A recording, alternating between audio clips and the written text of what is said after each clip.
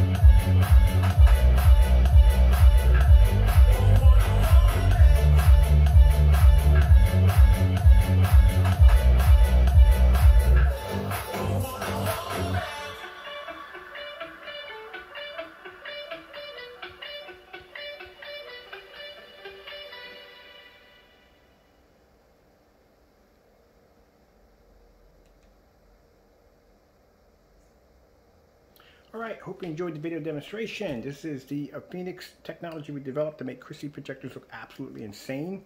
Um, we can use this on other applications, on other projectors if you choose. This is going to be coming out very soon, and this is going to allow you to be able to go out and get those $100, $140 uh, Christie projectors and just make them look absolutely incredible. This also has a form of enhancement technology embedded it for older projectors to make them look good also. You don't have to only use Christie's, but like I said, you can use other projectors too. And this technology is designed to enhance your projector's capability with color, contrast, and white levels. And as always, we do this in a fully lit environment. We don't have to worry about the screen washing out or fading. So the projector using in the demonstration is my Christie LWU505. This projector was discontinued in 2014, released in 2011, and cost me about 500 bucks, that's it. No calibrating, none of that nonsense. The screen does all the work. Thank you for your time. I have to go and God bless.